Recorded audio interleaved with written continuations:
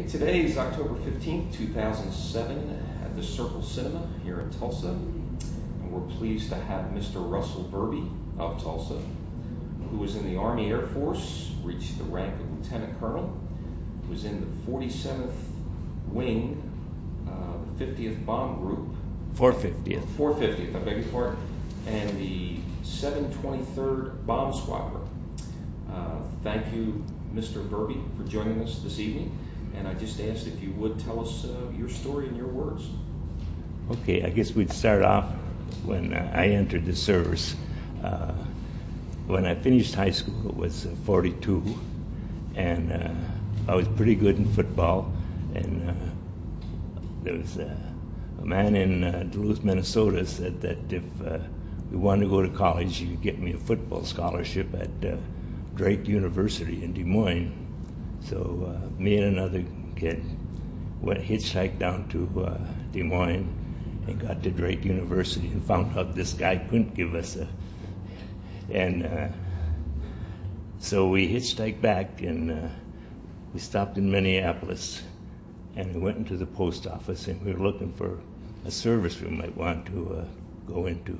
So we looked at the Navy and the Marines and the Coast Guards and this other guy said, I think we're going to go in the Air Force. And so we did.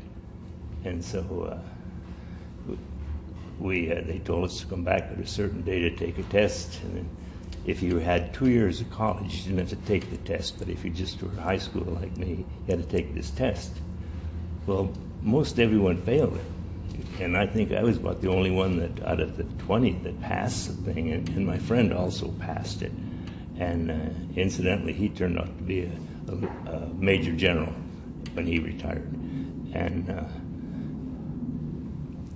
so uh, then we just went home, and all of a sudden we get a letter, and uh, they told us to report to Fort Snelling, Minnesota, and be sworn in. And so we were sworn in, and uh, they said told us to go home again. And so I guess in December sometime we got another letter to report to uh, Jefferson Barracks, Missouri, which was a real fiasco because they had because we thought we were aviation cadets, which meant you got $75 instead of 50 or 44. And uh, we found out we were aviation students, which seemed as a buck private, you know. But uh, so a- anyhow, uh, there's 10,000 of these cadets that are down there, and they didn't expect us. So they had these Dallas huts, which were about 20 by 20, and they had put eight people in them. The only thing was there was no beds, there was no nothing. And so we had to walk over to a supply depot, get these beds, carry them because they didn't have any trucks, they didn't let us use them if they did, and then had to set them up. And that night, then we had eight guys in in there.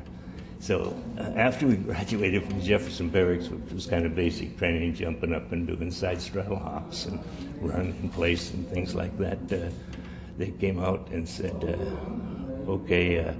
We're going to send you to uh, to school. So they sent me to uh, Creighton University, and uh, it depended on the, the test you take and uh, how long you're going to stay there. And at that time, uh, if you were one of the upper had the upper grades, you stayed there about a month and a half, and you got about 10 hours of flight training in a in a Piper Cub, I think. Okay, and if you were average like I, you stayed about two and a half and you didn't get any pilot training. And if you other guys, they were third. You know, so I stayed there about two months, and actually they didn't expect us either because uh, the guy said, whatever you do when you get in this airplane, don't have a knife or any keys because it's going to affect the uh, the uh, you know the mechanism. You know, and I like, God, they got these big engines out here and all that stuff all made out of iron, and they're worried about a pocket knife. You know, well, the guy was a, a Navy guy. That's how come he was telling me that because you're probably right next to the to a compass or something like that.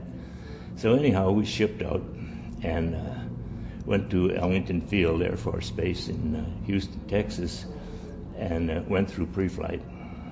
Stayed in pre-flight for a while, and then we were.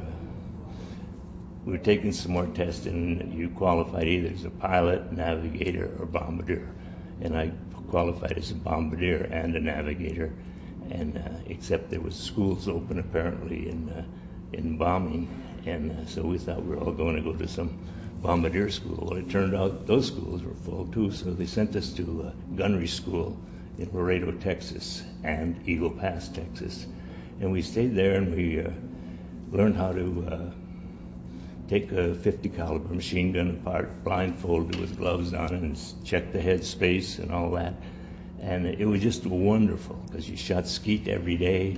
You uh, shot the 50 caliber machine gun on top of a truck on a turret, and uh, it, it, was. I, I thought I'd just soon stay there as go on to any place. So anyhow, we, we shipped out of there, and you had to qualify in a in a turret, either the Martin upper turret, the uh, Emerson nose turret, the Sperry ball ball turret, or the consolidated uh, tail turret. Well, all of us guys had to qualify in the Martin, you know, turret. So, uh, that, so then we went to, uh, finally went back to Ellington and uh, stayed there for a while and got some navigation training. Then we went to San Angelo, Texas, and got bombing training, and we stayed there about 40 some weeks, maybe uh, yeah, about 40, and they gave us an extra six months, of, or six weeks of uh, navigation, and then uh, then we shipped out, and we were all brand new second lieutenants, and uh, I went to uh, Colorado Springs, Peterson Field, and uh, this was in March of '44, and stayed at the Antlers Hotel and couldn't get out to Peterson Field on account of the snow, so we stayed there a couple of days. And then uh, when we finally did go in, there we were joined up by a crew, and uh, there was ten of us, and uh, we were going to fly B-24s. Well, we stayed there a few months, and then uh, we were okay as a, as a crew, and they, they sh- shipped us up to Lincoln, Nebraska, where we picked up a brand new B-24, and uh, flew it up to Bangor, Maine, and from Bangor, Maine down to the Azores in the Atlantic. And from the Azores, we went into Marrakech, which was a nice restaurant, or a nice uh, hotel out in the middle of the desert. And when the Germans left, one thing they did, they broke all the water glasses. So if you wanted to drink, you got to drink out of a Coca-Cola bottle that was sawed off. And uh, so we stayed there a couple of days, and then we went to uh, Tunis. And at Tunis, uh, we just stayed there a short time, but the place was just full of airplanes. Uh, when Rommel was leaving Tunis in North Africa, uh, he had all these transports coming in to take these uh, soldiers out. And uh, it was easy picking for the Spitfires and whatever airplanes the U.S. was flying, and they shot down just all kinds of them, just slaughtered them you know. So then we dumped the airplane off at uh, someplace in Italy, and we jumped into a, a, a truck called a six by six, and they took us to a town. Uh, took us to uh, our base, and uh, so once we got there, uh, they said, okay, there was a barracks that was half burnt down, and the Germans had done that too, and. Uh, so we divided up, and I got to stay with the co-pilot, and the navigator got to stay with the pilot. But when we walked into the room, there was nothing in it. There was no bed, there was no chairs, no nothing. Some guys had built a, out of a piece of plywood a wall and, and put a pipe through it to hang your clothes up. And uh, and that's we, and there was 345s laying on a, on a kind of a desk on there that the crew had, didn't take them with you. You know, you never took them with you. You get in trouble shooting somebody. And uh, so uh, the next day, Nick McCool and I, who was a co-pilot, uh, we scrounged some uh, lumber, got some webbing, because there was no mattresses or anything, and we made made these makeshift beds, and uh, we stayed there. And we then we started flying missions, and uh, about the third mission, uh, we were flying. We went into Budapest, and we had about seven in the squadron, seven airplanes in the squadron bombing and the flak was pretty heavy, and we didn't see any fighters. But uh, when we came out, after all the bombs away and we made our turn, we only had four airplanes left. So we, we got back home. And uh, so by this time, I had about, after that, flew about 10 more missions. And one time they called us in a briefing, and uh, the arrow went straight east, and we thought, God, wonder it was over there. Well, it was Romania, and it was the Ploesti oil fields, which the Germans you got all their oil from. and uh, but so we went in there and bombed it. But uh, they always had smoke generators around these refineries, and there was right in this one area there was probably six or seven refineries, a lot of refineries, but they all had these smoke generators, and you could never see your target. And by this time, radar wasn't that good. And then we called the radar operators Mickey operators, and they could do fixed angle bombing, which wasn't precision bombing, but it would area bomb it, you know. So, uh, and so we lost a couple airplanes there too, and because they had about, I'd say 400 anti-aircraft guns around there, uh, the fighters never came in. For some reason, they stayed out because we had by this time we had some P-38s that were flying around, and uh, so any, anyhow, I flew uh, three of those missions to Ploesti, and we always came home with, with some damage. Uh, one time we came home and uh, we uh, had one engine shot out, and then another one. We're just going over, getting ready to go over the Alps, and uh, a second engine cut out. And we just barely steamed over the top of those damn mountains. And I could look down. I was in the bomb bay because we were going to bail out and we'd thrown everything out to lighten the road, the load. But I said, if anything happens, I'm going to fall one in one of those crevices, and they'll never find me, you know. So, but anyhow, we just you, when I was standing in the bomb bay, you could put your foot out, you could almost touch the top of those mountains. So anyhow, came down and landed, uh, went down to the Adriatic and back to our home base, and uh, uh, so, so uh, then uh, another time we were flying, and my and we were in the in the fourth airplane in this uh, group of seven, and had one, two, three, and then the, the fourth airplane was behind the lead airplane, uh, but about maybe three or four hundred feet below him.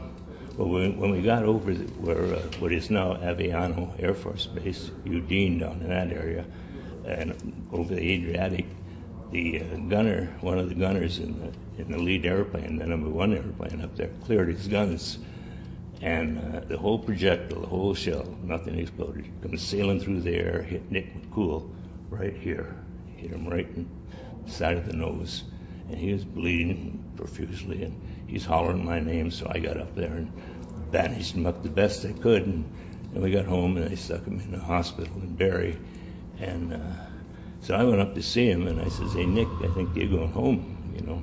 He says, no, they told me I got to finish flying his 50 missions. I says, Christ, this, we got a lot of extra guys now, you know. He says, but he says, no, he didn't. So, anyhow, make a long story short, uh, uh, Nick stayed in the hospital, and I'd bring him some whiskey from uh, rations at, uh, after every flight. We had old smugglers uh, scotch, and uh, you get about an ounce and a half, two ounces. I'd pour it into a canteen and get all the guys that didn't drink to go up there. And so when I went up to see him, I'd give him about three fourths of a canteen full of, full of booze, which helped him a bit, you know. So Nick finally come back, and uh, but this was December of '44 though, and uh, I was had 40 submissions already, and he was maybe down to 20 or five or so. And uh, so I said, Nick, I'm going to wait for you because we're going to go home and fly the B-26s together. We just had one navigator and bombardier and one pilot. And he said, that's fine, we'll do that. And so I told the squadron commander what I was going to do. He said, I don't care what you do, just tell me when you want to go home. You know, so I said. And, and, and what was, was, was 50 missions the magic number? Yeah. Okay. And so, uh, anyhow, it was uh, in, uh, it was uh, Christmas Day, December 25th, 1944, and Nick McCool was was a co-pilot on this airplane, and they went up to bomb oh, a choke point in the railroad marshalling yards. And of course, it's way up in the mountains. It's like about you know nine, ten thousand feet. Those mountains, which means it's only fifteen hundred feet, roughly, maybe 2,000, 20,000 feet uh, uh, from the ground. You know. Well, Nick airplane got hit, and he turned around, and his pilot was knocked out. So somehow Nick pushed his pilot out, and somehow his parachute opened up, and uh, the guy apparently was safe. But Nick had half of his arm blown off. He bailed out, fell in the Po River, and drowned. And that's what they called it. Why he died, he drowned. He would have died down halfway down, but he. They, that's what they say he drowned. And uh, then there was another time where we had a lieutenant colonel, which was rare, but this guy had been there a long time, and uh, it was a funny story because uh, next door to us was a kid named Harry Evans who was a bombardier navigator like me. And he came to me that day and he says, Hey, Russ, he says, uh, I'll tell you what I'll do. He says, I'm scheduled to fly tomorrow, but if you take my place, I'll give you 10 bucks. And 10 bucks is a lot of money, you know. We're getting about $7 a day, you know, flying combat. And uh, so I thought about it. I said, No, Harry, I'm not going to do it. Well, the next day, Harry and his crew took off and they were going to bomb a bridge Poland or someplace. And uh, all of a sudden, the pilot looked back and there's fire in the bomb bay.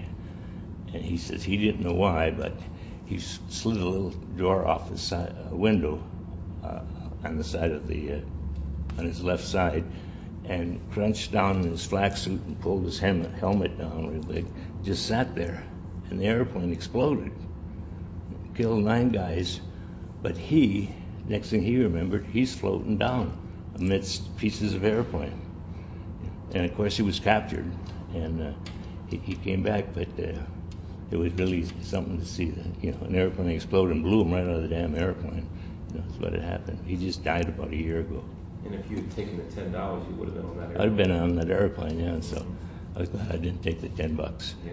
And uh, another thing, we we never got any beer. We didn't have any beer, or there was nothing. We had a BX in this town of Manduria, which was just a little Italian town down in southern Italy, and uh, you go in there in the BX, and you could buy. Uh, cigarettes for six, no, 60 cents a carton, which and uh, you couldn't spend a dollar unless you bought a Zippo lighter, and that was about 80 cents. You know, you could buy a box of hard candy for six cents and a couple of razor blades and stuff. And I used to buy soap and give it to the houseboy that came in, and he gave it to his grandpa. You know, so. But uh, anyhow, so uh, after uh, Nick died, I said I might as well go home. So I got on a boat. Uh, it was called. Uh, it was the USS America, but during the war they changed the name. It was either USS America or US United States, one of those. But anyhow, they changed the name to USS West Point, and we we came uh, out of Naples, and uh, it was cold as hell in Naples, and we stayed at a Terme hotel, and it was cold there. And, and this one friend of mine who was a pilot going home the same time I was, he says, "Hey, he says I found out how you can get warm." He says they've got a, a warm. Uh, bath down here. And I said, I'll go in down there. Well, it was some water that was just hot, you know.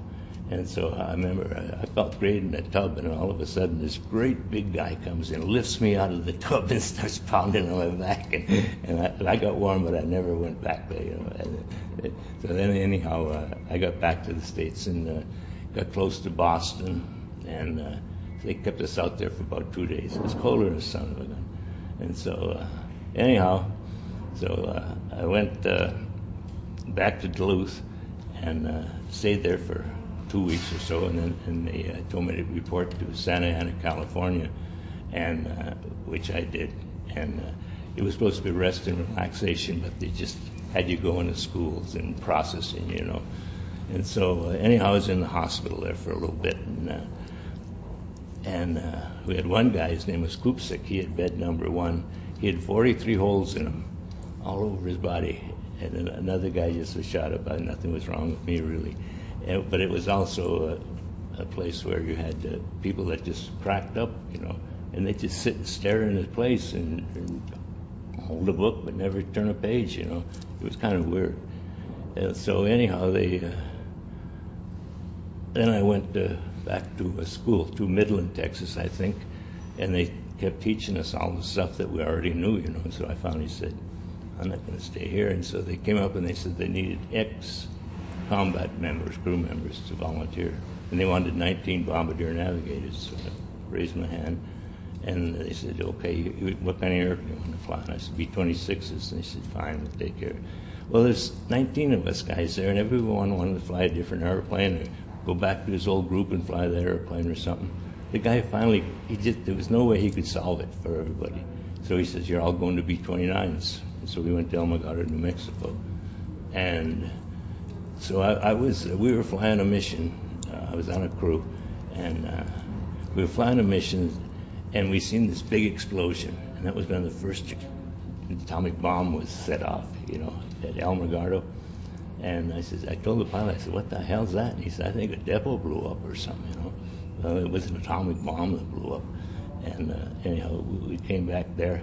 And then in August of uh, 1945, uh, I was sitting at the bar, and some guy says, "Hey, they dropped an atomic bomb on, on Japan." I didn't know what an atomic bomb was, neither did anybody else, you know. And anyhow, so uh, the 9th of August, they dropped one on uh, Nagasaki. And then the war ended. When the war ended, no one flew. They didn't use one gallon of gas. You know, and to get your flight time, which was half of your base pay, you had to fly four hours.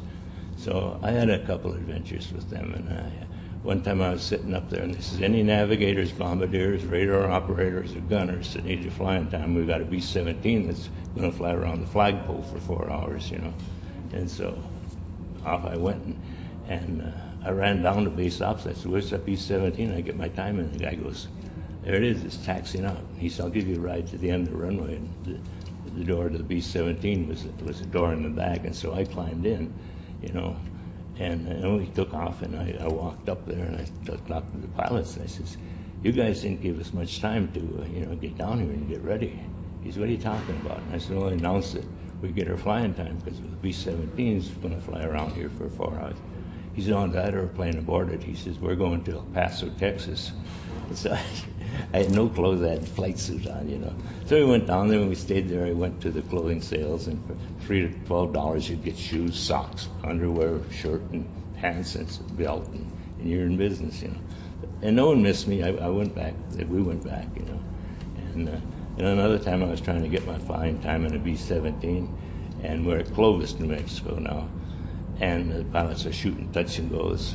And it happened that we had a, an engineer who had flown uh, B-29s, and apparently in a B-29, after the gear was down, you, you didn't have to go back and crank it a couple of times to make it sure it locked.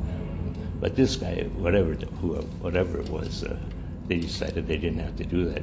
So all of a sudden, I'm laying up on the table up in the nose of this B-17, sunning myself, and the airplane touches down, and all of a sudden it starts screaming, you know, and the damn gear came back up, you know. And so I jumped up and got out the uh, hatch up on the top, and uh, and they classed 26th airplane, which meant it was completely bad. And uh, so from there on, then I uh, I was standing around. Well, we never never had to do anything. All the officers would do, we'd get up in the morning, go over, have breakfast, come back, get into our uh, bathing trunks, go lay around the pool, stay there all day, get lunch there. About not four or five o'clock, we'd go clean up, go to the club, have a couple of drinks. Next day, do the same thing, you know. It was just a great life because the officers weren't supposed to work. And finally, some guy said, This is bull. You guys got to do something, you know. And uh, so they took some of the guys, made them maintenance, and some of the guys in supply. They put me in supply, and I had nothing, knew nothing about it. And uh, so I went down to see the guy that was running. He says, "Geez, we don't need anybody." He says, "I don't know what the hell to tell you." He says, "Just hang around you on the desk. We'll put a desk in." I said, "No, that's okay. I'll stay out in the warehouse." And uh, so I stayed out there, and there was a sergeant there, and uh, he knew what he was doing. And uh, we had German prisoners of war still; they hadn't gone home yet, and, and they loved it. You know, they they was always tearing open cartons of. Uh, you know, fruit of some kind, you know, but they did a good job, you know, so uh, all of a sudden, someone calls me from personnel says, "Hey, they're going to kick a lot of guys out of the service. They don't need them anymore." You know, so if you want to stay in, they got a couple of places you can go. You can go to the Philippines or you can go to Okinawa. I said, "I'll go to the Philippines." And so I went to the Philippines and stayed there, just got there, and. Uh, and the ninth bomb group was there in the first bomb squadron. Well, most of the people had gone home, and so out of this one group of, uh, let's say, 45 airplanes or 45 crews, there was only one or two complete crews, and I was on one of those, you know. Well, then they came up with a Project Sunset, and all the B-29s went back to the States.